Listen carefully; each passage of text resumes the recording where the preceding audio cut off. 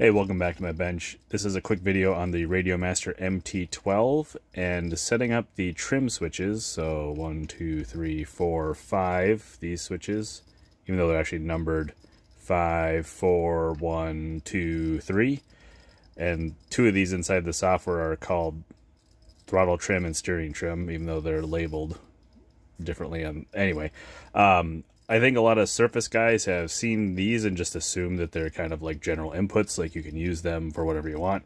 And EdgeTX isn't really set up for that. There's there's kind of different buckets for the different inputs and uh, switches like SC there and SB on the bottom, and these switches uh, are different than trim switches, and you can't really easily set them up as you would a, a switch the they're they're different.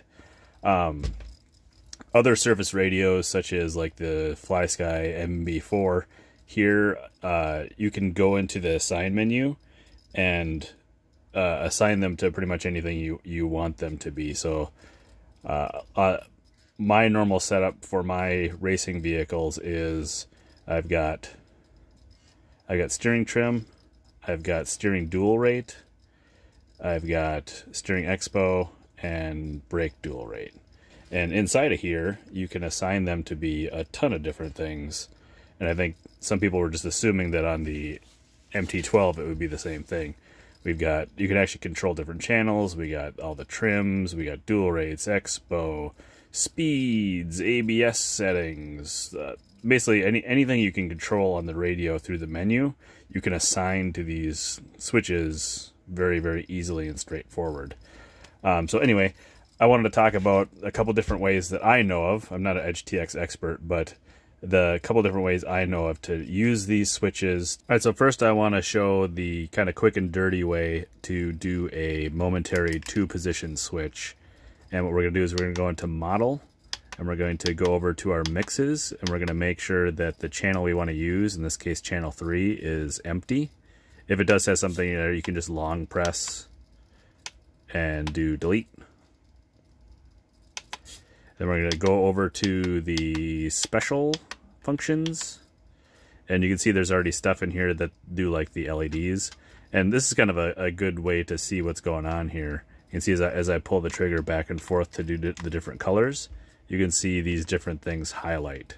So in that same way, we're going to go down here and we're going to add a new function and we're going to long press. We're going to go to trims, and in this case, we're going to use T4. So we can scroll down to T4 plus, and we're going to override, which is the first option, channel 3. And for plus, we're going to do 100. 101 is fine.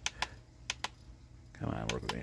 And make sure that checkbox is checked so it actually does it. So now when we go up, we can see that the servo goes to plus 100. Down still doesn't do anything. All right, so now we can hit, so it's a little bit weird because we're trying to scroll up and down and it just, we're just kind of stuck here. So you got to hit the return button and then we can go to the next line and we can do the same thing. We can add the trim, go to the trims, T4 minus now. We're going to override channel 3.